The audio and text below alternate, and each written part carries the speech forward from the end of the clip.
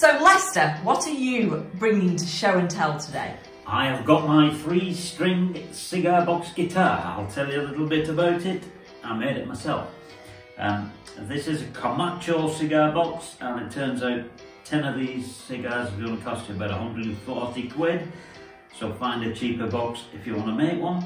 Um, the pickup came off an acoustic guitar. It's a Delta Lux by someone who I've forgotten.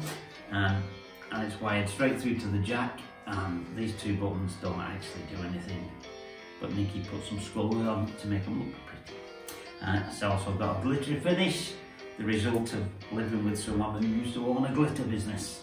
I found this old number three while I was digging up an old lady's garden.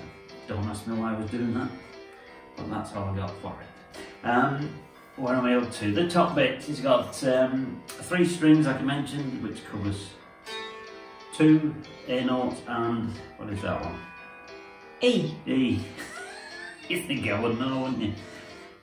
So it's got two notes and produces just that little chord, but don't let that fool you.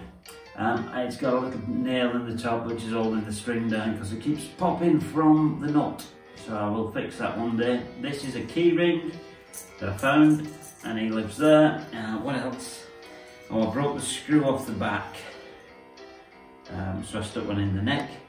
It used to be, this is a Chickenbone John neck and um, it was on a left left-handed guitar and that's why the buttons, uh, the, the dots are underneath so I had to put make my own dots.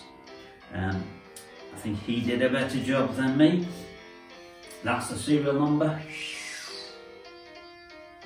Um, got that off the internet for £2.80. Put it in the wrong place, that's why there's about six drill holes, but eventually got it right. Um, I can't really tell you all on that's um, that's one of Nikki's modular synth um, adventures. Uh, what else? Oh, and a few stickers on the back.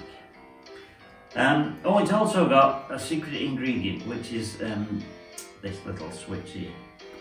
Ba-dum! Looks better in the daylight. Looks better in the night. Um, and that, that is my three string cigar box guitar.